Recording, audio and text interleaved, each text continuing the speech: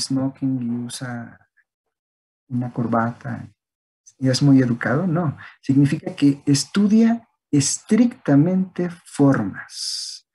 Formas. ¿ah? ¿Y qué son las formas? Triángulo, círculo, cuadrado, no, esas son figuras. Formas son normas. Las normas, las reglas, la lógica de la investigación científica. La lógica.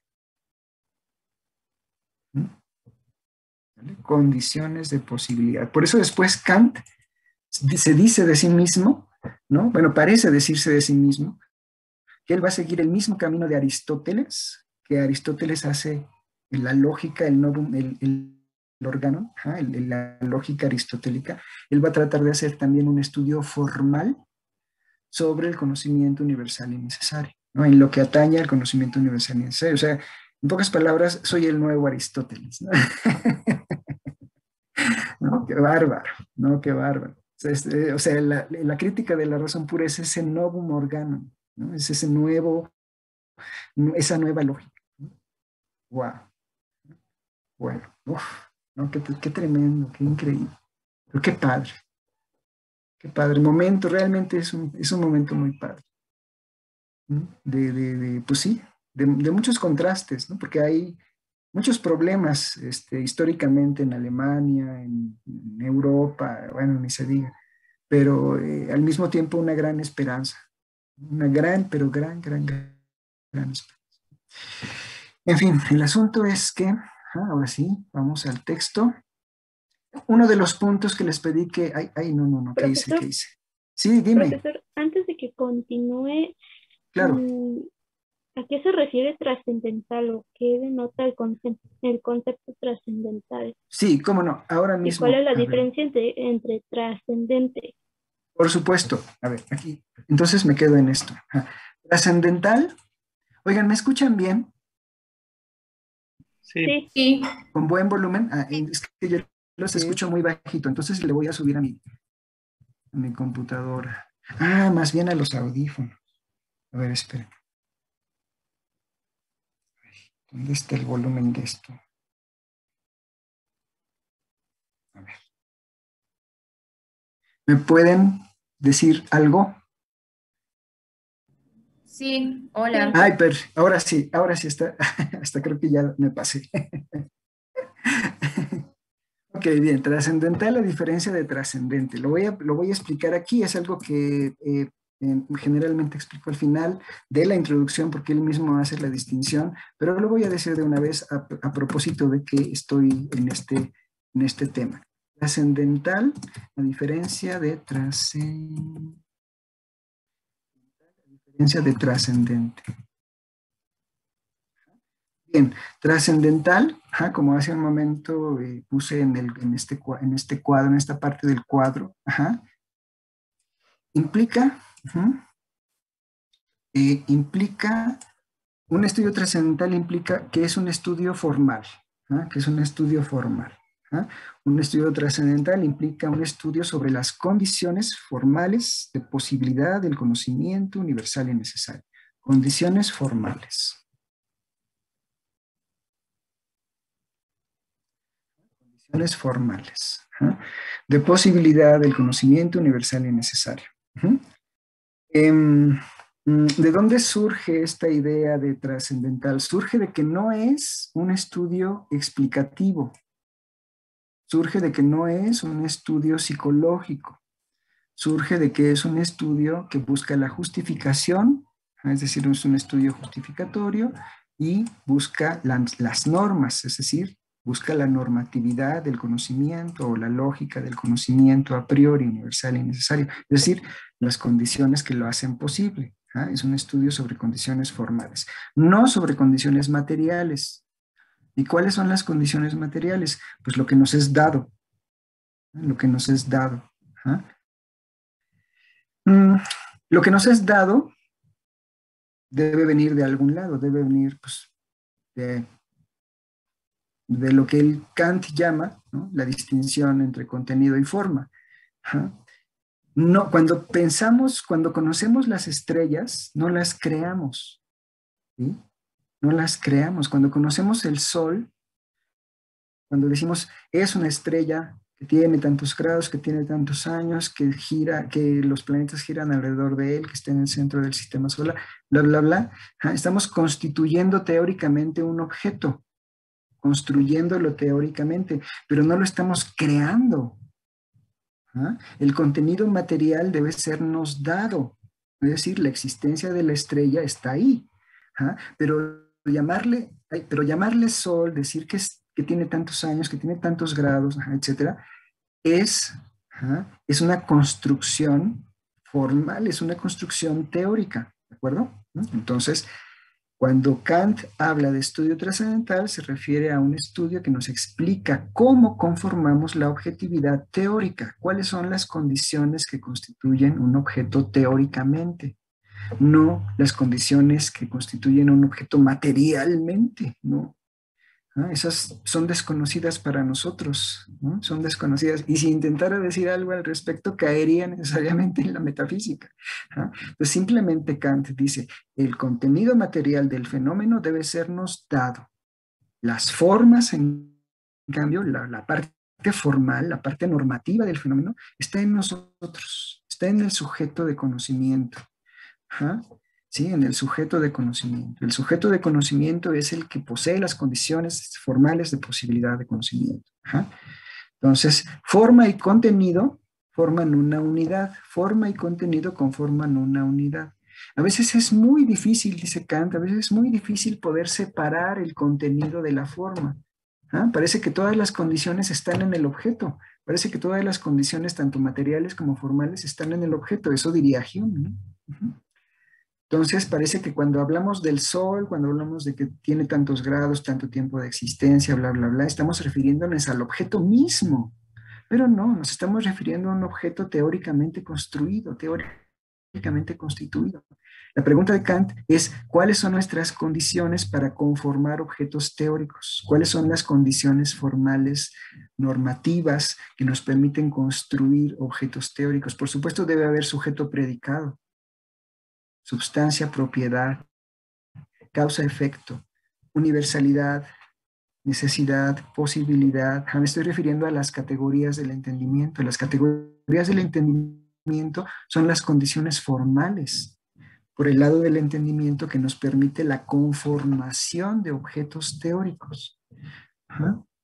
Entonces, desde el punto de vista formal, este estudio, el estudio trascendental, no se había hecho antes.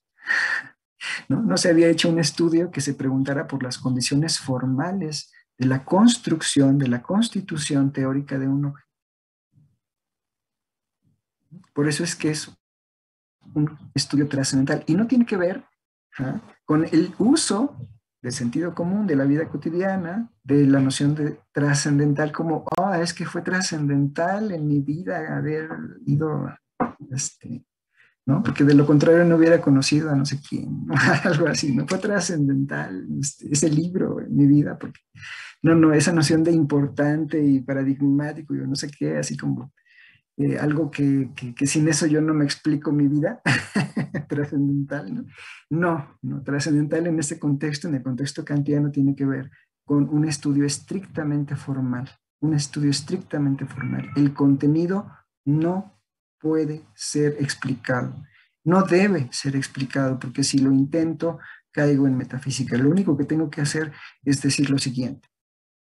Todo objeto teórico tiene o debe tener un contenido material. Así que si yo digo sol, y este concepto está articulado por tantos grados, tanta edad, eh, posición en el universo, bla, bla, bla, este concepto puede ser referido a un objeto de experiencia posible. El contenido material del fenómeno nos es dado, no es creado por nosotros. No, es creado. Eso lo dice después Putnam, Hillary Putnam. Cuando yo estudio las montañas o cuando yo veo las montañas, no las creo. El contenido material del fenómeno está ahí, no me tiene que ser dado. ¿Sale? Entonces, las formas, las condiciones formales que nos permiten construir objetos teóricos como sol, estrella, Tierra, sistema solar, etcétera, gravitación universal. Esas condiciones formales tienen que estar en nosotros. ¿Cuáles son esas condiciones formales? Ya lo vimos hace unas clases. Espacio y tiempo por el lado de la sensibilidad, espacio y tiempo, y las categorías. Entonces, la crítica de la razón pura es un estudio trascendental, ¿no? conforma ese estudio que busca develar, hacer explícitas las condiciones implícitas del conocimiento a priori. Están implícitas, sí, tan implícitas que ni siquiera nos damos cuenta que nosotros las ponemos. Parece que todo viene de afuera. Parece que todo viene de afuera. Pero no es cierto. Ponemos en el conocimiento, ponemos en la experiencia misma las condiciones y no nos damos cuenta. Ah, justo en eso, eh, a eso iba ahorita cuando cambié la pantalla. Entonces a eso se refiere trascendental. No tiene que ver con, eh, muy importante en mi vida, sino tiene que ver con un estudio lógico, un estudio normativo, un estudio que busca la justificación a través de principios generales. Trascendente, en cambio, trascendente, en cambio,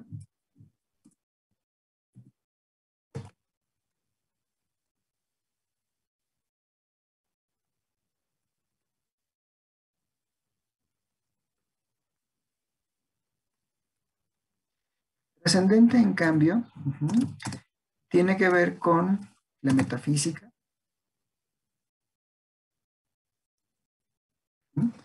Tiene que ver con lo que no es objeto de experiencia posible.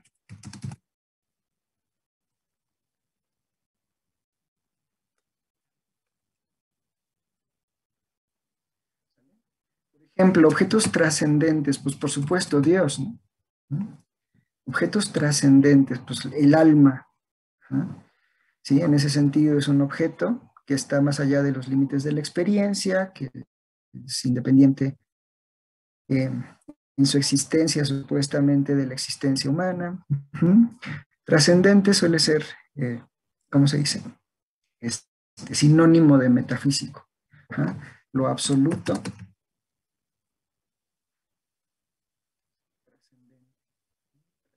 Entonces, si decimos que el estudio de Kant es trascendental, estamos diciendo que es este, formal, lógico, que busca la justificación o las causas.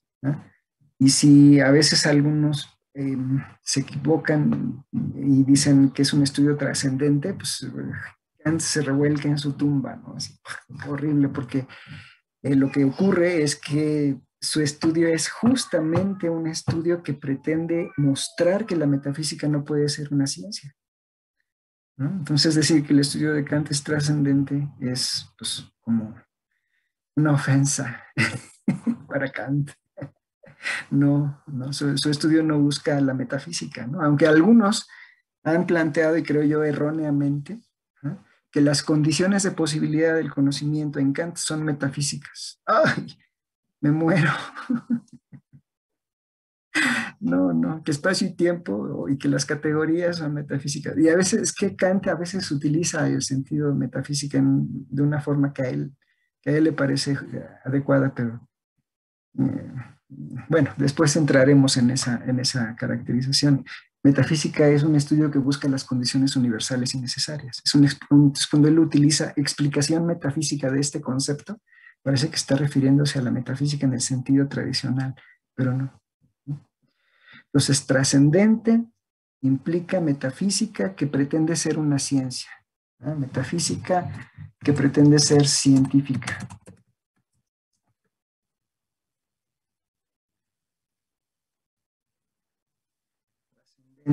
Diferencia con trascendental. Entonces sí, en este, en este cuadro, a lo mejor incluso hasta podríamos completar, eh, comenzar con proceder de y estar más allá de los límites de. Trascendente justo implica eso, ¿no? Objetos que están más allá de los límites de la experiencia.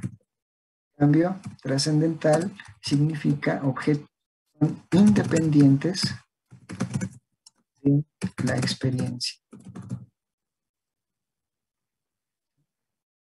¿Cuáles son esos, esos objetos, esos conocimientos que son independientes de la experiencia? ¿Ah? Aquellos cuya validez es a priori. ¿Y cómo sabemos que tienen validez a priori? Pues porque no son dependientes de la experiencia ni en, su, ni en el orden temporal, o sea, no comienzan con la experiencia, ni se validan en ella, es decir, no tienen una justificación empírica. Tu error, Hume, fue creer que todos los conceptos tienen eso, un origen a posteriori y una validez a posteriori, una validez empírica. Por eso, como veremos más adelante, el gran error de Hume, según Kant, es haber tratado de buscar el origen de la idea de conexión necesaria, el origen de la idea de causa. Eso no tiene sentido. No tiene sentido, Hume, de veras. Te equivocas. ¿Por qué? ¿Por qué crees que me equivoco? Pues porque la noción de causa es una categoría, es un concepto puro a priori. ¿Y cómo lo sabes? Pues justo porque tomo como base tu investigación. Lo que tú dices es, en la experiencia no hay una impresión sensible correspondiente a la idea de causa. No hay una, una impresión sensible correspondiente a la idea de, de conexión necesaria, de necesidad. Y tú mismo concluyes, por eso no hay necesidad física. Yo estoy tomando como base esa enseñanza. lo que se sigue de tu investigación es que el concepto de causa o el concepto de necesidad son puros a priori. ¿no? bueno, Hume se iría a la yugular. se le iría a la yugular a Kant, ¿no? Así que estás como loco que estás planteando un inatismo otra vez. No, señor, no, de veras no. Una metafísica, no, tampoco, de veras. Ay. Bueno, entonces aquí está, ¿no? La diferencia trascendental, ¿no? Trascendente. ¿Quiénes están aquí? Trascendental, Kant. es el único. Trascendental, bueno, por lo menos en este. No hay de otra, ¿no? Es el sello distintivo de Kant, trascendental es el sello, tiene, este, está registrado. un estudio trascendental. En cambio, un estudio trascendente, uy, pues tenemos a muchos. Aristóteles.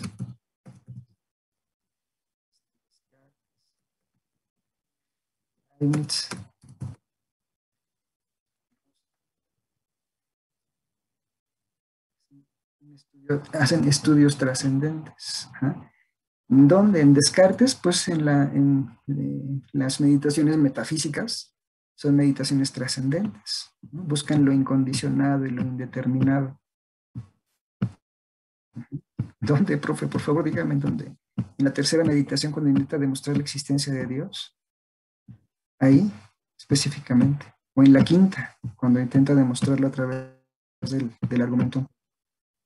¿Pretende ser un estudio trascendente? Sí, claro demostrar la existencia de Dios es por, por, tradición,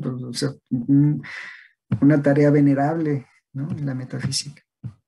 Leibniz en los nuevos ensayos sobre el entendimiento humano, en la monadología. ¿no? Spinoza, bueno, se diga. Lo vimos aquí en el Tratado sobre el Entendimiento Humano y en, y en, en la ética demostrada según el orden geométrico. ¿sí? Está buscando un estudio trascendente. ¿Cómo lo sabemos? ¿Ah? Acuérdense cuál es el tercer nivel de conocimiento, el, nivel intuitivo, el nivel del entendimiento, en donde podríamos tener el conocimiento total de la naturaleza, ¿ah? tal como Dios mismo lo tiene. ¿Sí? Porque habremos accedido al conocimiento de la natura naturans, no de la natura naturata, sino de la natura naturans, de la naturaleza funcionando en su funcionamiento, ¿no? Naturante, siendo naturaleza. Ay, caracoles. Es decir, como cosa en sí, no como es para nosotros, como cosa en sí, incondicionada e indeterminada. ¿Ah? Pues no. No, justo por eso Kant dice no. Bueno, ahí está. Em, ¿Quedó claro? ¿Quedó clara la distinción? ¿Sí? Más o menos. ¿Para quién pregunto? Sí, ¿Todavía están ahí? sí, ah, perfecto. Ok, perfecto, muy bien. Eh, vamos a seguir trabajando estas distinciones y ahorita solamente las estamos planteando. A lo mejor todavía suenan muy abstractas, pero se van a ir concretando a lo largo de estas clases, ¿vale? Bien. Ahora, fíjense bien.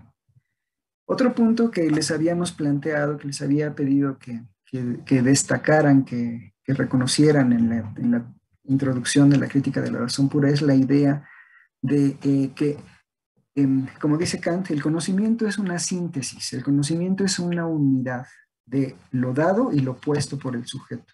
¿ah? Lo dado y lo puesto. ¿ah? El contenido material es lo dado y las formas, la forma, las normas son puestas por el sujeto. Sin embargo, el problema es que no nos damos cuenta de eso. Eh, probablemente alguien que empezó a darse cuenta de eso fue Hume. ¿ah? Pero eh, no se animó a hacer la revolución copernicana como yo, como yo la hago en la, en en la epistemología. Hume estuvo en las condiciones, casi se anima a dar el paso, pero no lo hizo.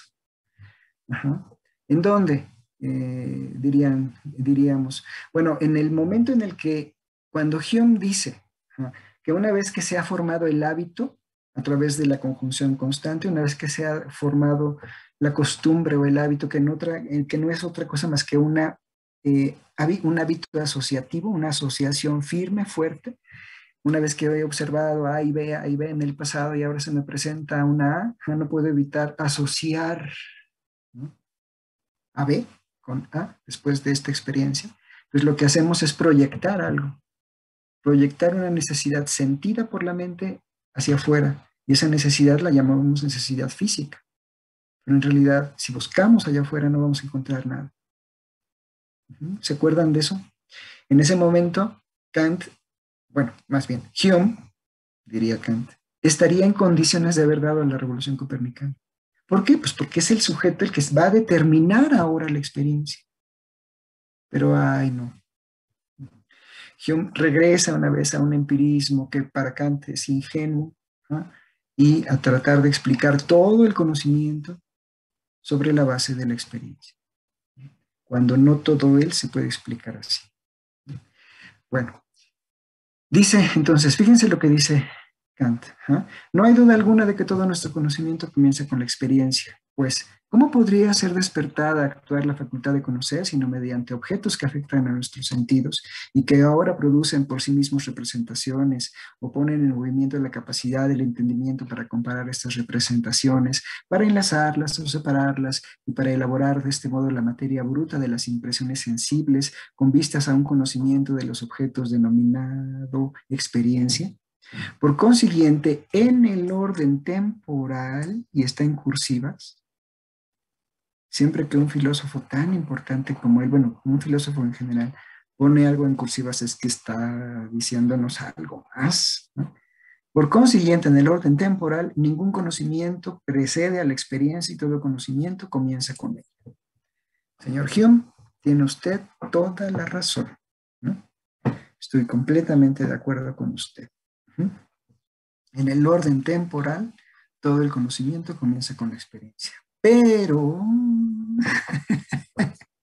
¿no? Es aquí en donde después de darle la mano a Kant y decirle, sí, estoy de acuerdo, aquí ya se separa y lo empuja, lo hace a un lado y dice, pero, aunque todo nuestro conocimiento empiece con la experiencia, no por eso procede todo él de ella, de la experiencia. En efecto, fíjense lo que dice aquí, subrayado, por favor, de verdad, subrayado.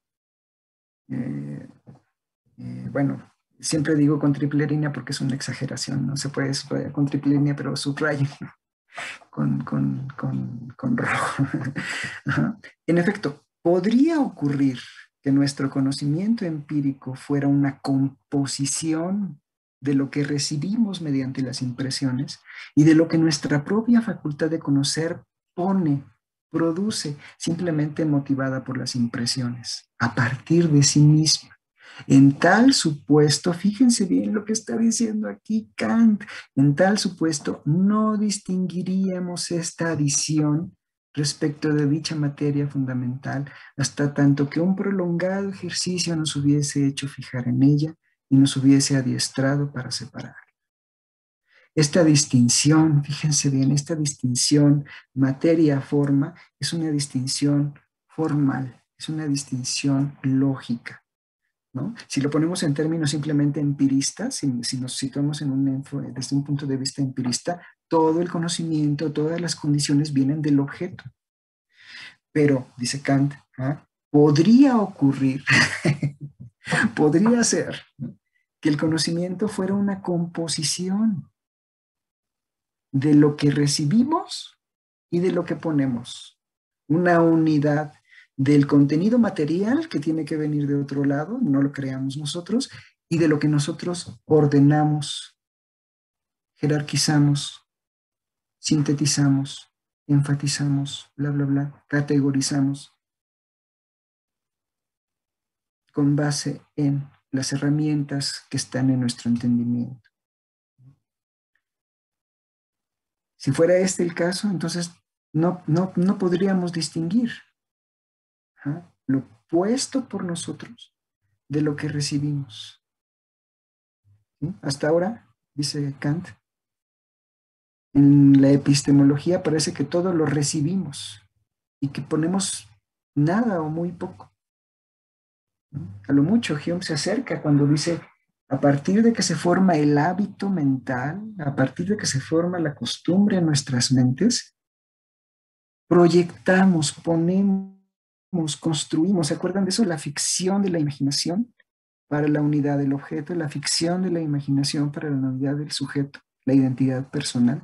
Esa ficción de la imaginación es justo eso, lo opuesto, no lo dado. No está dada la unidad del objeto, no está, no está dada la unidad del sujeto, está puesta, supuesta, construida por la imaginación. Ya, ya por ahí había algo, ya por ahí se, se, se, se asomaba de nuevos tiempos en la epistemología, pero no se dio el paso hasta ahora. Y me toca a mí darlo. ¡Wow! ¡Qué bárbaro!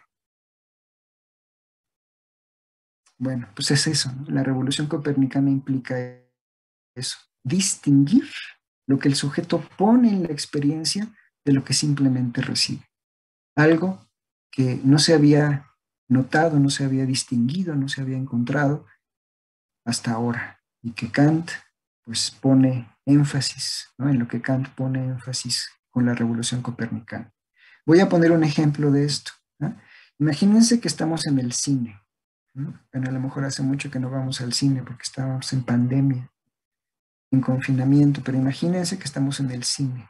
¿no? Recuerden alguna vez que fueron con sus amigos o con su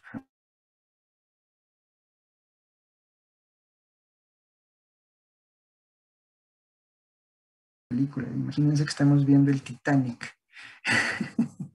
si ya la vieron, recordarán la escena en donde Kate Winslet está en la punta del Titanic y Leonardo DiCaprio está detrás de ella levantándole los brazos. Y ella dice, estoy volando, estoy volando. y él grita, si no recuerdo mal, algo así como, somos los reyes del mundo. bueno, entonces nosotros estamos ahí viendo esa escena del Titanic, ¿no? Y entonces en eso eh, de repente, si nosotros estamos eh, viendo esa escena y el proyector, la máquina, la máquina que proyecta la imagen en la pantalla, cobra conciencia de repente, ¿no? Abre los ojos, ¿no? Y está viendo justo la misma escena que nosotros. Está viendo la escena en donde Kate Winslet está en la punta del Titanic y Leonardo DiCaprio está detrás, levantándole los brazos diciendo, somos los reyes del mundo. ¿Sale? Está viendo la misma escena.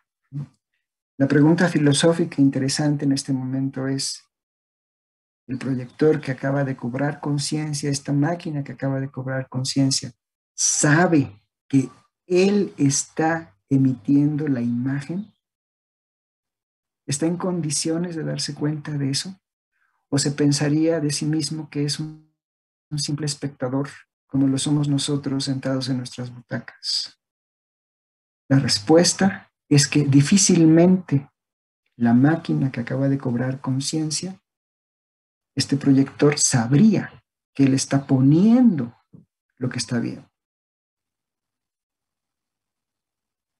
Entonces, lo que está diciendo aquí Kant es, me, pone los pelos de punta. Es, ay, caray. Yo creo que es un momento también, no solo para la epistemología, sino incluso para la psicología, ¿no? Para Freud, para Lacan, para, pues. Este, qué bárbaro, qué bárbaro. Es un momento también cumbre en el pensamiento. Esto que dice, que acaba de decir Kant aquí, qué bárbaro. Cada vez, o sea, lo he leído 20 años. Más, más porque alguna vez fui alumno también, pero ya llevo 25 años dando clases y cada vez que lo leo me, me conmueve. O sea, digo, qué bárbaro. ¿Qué momento es este momento? En tal supuesto no distinguiríamos lo que ponemos en la experiencia hasta que un prolongado ejercicio fino, filosófico, lógico pudiera separar esto que ponemos de lo dado. Un antecedente lo tenemos en Hume.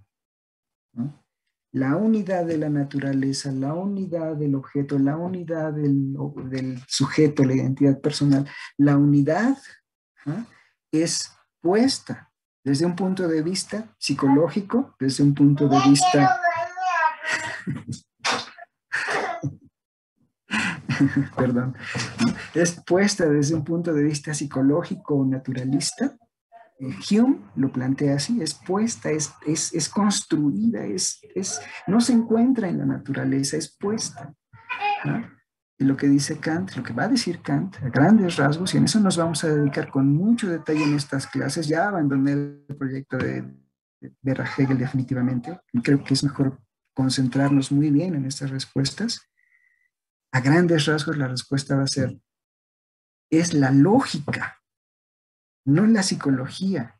Es desde un punto de vista estrictamente lógico que podemos defender la unidad de la naturaleza, la unidad del objeto, la unidad de la conciencia, la unidad del yo, y no desde un punto de vista frágil, contingente, lleno de problemas como es el de Hume, desde la psicología.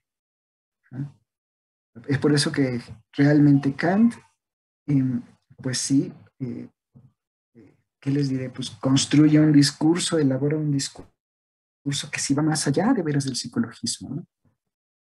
Es em, muy importante, es apasionante, es muy interesante realmente. Siempre digo, no soy kantiano, ¿no? y a lo mejor ustedes dicen, ¿por qué se emociona tanto si no es kantiano? Bueno, pues porque la metodología de Kant es lo que me, lo que me, me asombra siempre que, regreso a Kant, siempre pues me, me, conmueve, me emociona, porque realmente es eso. La base de su estudio está mal. ¿No? Suponer que hay conocimiento universal es necesario. En, esta, a, en esta, a estas alturas es realmente muy difícil de sostener. ¿eh? Me queda como un ideal, ¿no? pero eh, eh, metodológicamente algo que siempre reconozco y algo que siempre digo y siempre diré, es que Kant tiene muy claro el problema, lo tiene muy claro, tan claro que al mismo tiempo tiene muy clara la respuesta. Y eso se los digo a todos siempre, a todo mundo en, estas clases. Cuando tengan que hacer su tesis de licenciatura, o más adelante si hacen una maestría o doctorado, si tienen que hacer su tesis de licenciatura, tengan bien claro el problema, cómo está construido, cuál es la historia del problema, cómo llegamos a hacernos esta pregunta. Y si tenemos todo eso, todos esos elementos que aquí claramente Kant los tiene muy presentes, muy claros, la respuesta sale casi natural. La revolución copernicana era lo único que se podía hacer ya para explicar el conocimiento universal necesario. No había de otra, no había otro movimiento posible. Como a veces sugiere Kant, Hume estaba en esa dirección, pero pues, Afortunadamente para él, diría Kant, afortunadamente para mí, a quien se le ocurrió fue a mí. y no a Hume.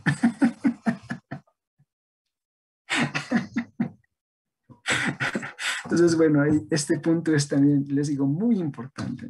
¿Ah? Distinguir, vamos a distinguir lo opuesto por nosotros, las formas, las normas, las reglas de simplemente lo dado. No somos espectadores. ¿ah? No somos simplemente espectadores pasivos. Somos agentes activos. No simplemente recibimos. No. Actuamos. Construimos, ¿ah? ordenamos, jerarquizamos, conceptualizamos. Cuando creemos que somos más pasivos en la experiencia es en realidad cuando más construimos, cuando más activos somos. Simplemente es así, ¿no? Y no nos habíamos dado cuenta. Siempre lo hemos sido. Sujetos activos. Bueno, entonces, ay, ya me quedan cuatro minutos.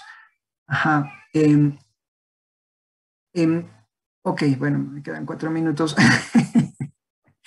Em, el otro punto que también es muy importante de esta, de esta introducción es la noción de a priori. La noción de a priori como una noción que no es a prioridad, a priori, sin una, bueno, sí a prioridad. Eh, no es la noción de a priori temporal, que conecta con dos cosas, por lo menos, con inatismo y con metafísica, sino la noción de a priori lógico, una noción de a priori lógica.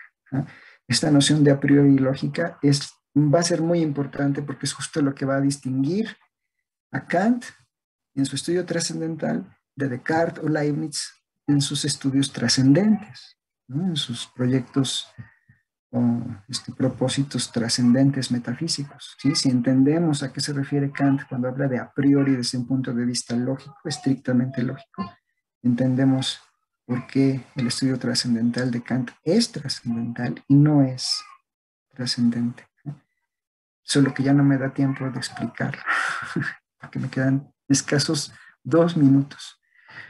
Así que bueno, en estos dos minutos, si alguien tiene dudas sobre lo que vimos o lo que alcanzamos a ver hoy. Este, por favor, adelante.